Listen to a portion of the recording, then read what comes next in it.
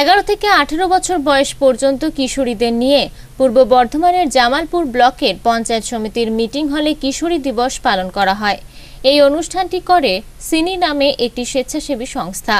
সিনি SAG কেপির রাজ্য প্রযুক্তি পার্টনার ও mother implementation NGO. SAG KP নামে এই প্রকল্প, যেটি কেন্দ্র ও রাজ্য সরকারের যৌথ উদ্যোগে চলছে পুরো পশ্চিমবঙ্গ জুড়ে। এই প্রোগ্রামটি মূলত আইসিডিএস পরিচালিত। বৃহস্পতিবার এই অনুষ্ঠানে উপস্থিত ছিলেন বিধায়ক অলোক কুমার মাঝি, পঞ্চায়েত সমিতির সভাপতি মেহমুদ খান, বিডিও শুভঙ্কর মজুমদার, জামালপুর থানার অফিসার ইনচার্জ রাকেশ সিং, সহসভাপতি Debu Hembram, joint BDO Gautam Kumar Dutta, senior district coordinator Debarati Kar, ব্লকের সুপারভাইজার রশ্মিনা খান সহ অন্যান্য সদস্যরা। ওই ষোলো সতেরো থেকে শুরু হয়, আর মোটামুটি আমি দেখেছি বাইশ চব্বিশের মধ্যে। তারপরে কিন্তু এই হঠাৎ করে সুইসাইড করার টেন্ডেন্সিটা কিন্তু খুব কম। এই ধরনের কেস যখন হয়, তখন আমরা তার ডিটেলটা যখন নিই, তখন বেশিরভাগ ক্ষেত্রে দেখা যায় যে ব্রেনটা পুরো ইনম্যাচিওর হওয়ার জন্যই কিন্তু হঠাৎ করে মৃত্যুটাকেই শেষ রাস্তা হিসেবে বিবেচনা করে নেওয়া হলো। হলো যে কোনো মহিলা, তিনি তার বিবাহের সাত বছরের মধ্যে তার যদি আনন্যাচারাল ডেথ হয় আনন্যাচারাল ডেথ মানে তিনি গলায় দড়ি দিলেন তিনি আগুনে পুড়ে মারা গেলেন বা তাকে ইলেকট্রিক শকে পোড়ানো হয়েছে বলে অ্যাজামশন করা হচ্ছে। তিনি ডুব দিলে, তাকে কেউ মেরে ফেলেছে।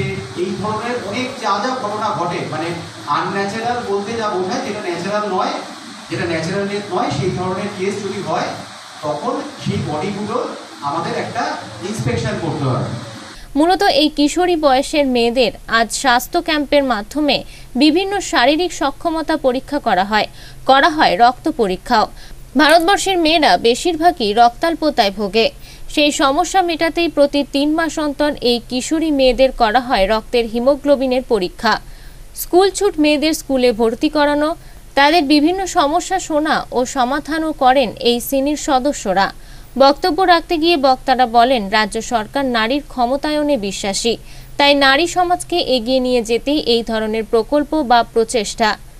কারণ এই বয়স থেকেই যদি তারা শারীরিক ও মানসিক দিক থেকে শক্ত সামর্থ্য হয়, সেই জন্যই এই ধরনের প্রচেষ্টা। গেম খেলতে ব্যস্ত হয়ে যায়। এই গেম খেলাটা বন্ধ করতে হবে। কারণ সমাজে প্রতিষ্ঠিত হতে গেলে। মাননীয় মুখ্যমন্ত্রী মমতা বন্দ্যোপাধ্যায় আমাদের রাজ্যের মুখ্যমন্ত্রী মহিলা। তাহলে উনি এই পড়াশোনাতে মন দিয়েছিলেন বলে বাংলার মানুষের কথা ভাবছেন।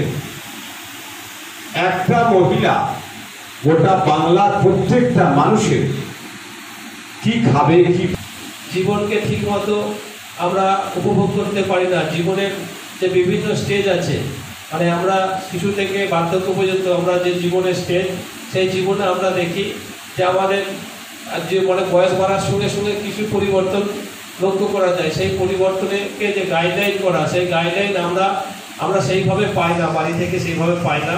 বৈজ্ঞানিকভাবে সেটা যদি সেই গাইডলাইন করা হয়, তাহলে আমাদের বাস্তবে বিভিন্ন যে প্রতিকূলতার মুখে পড়তে হয়, সেই প্রতিকূলতার মুখে পড়তে হবে না, যদি আমরা সেই গাইডলাইন অনুযায়ী চলি। বর্ধমান থেকে টিঙ্কু সাউয়ের রিপোর্ট, আনন্দ বার্তা।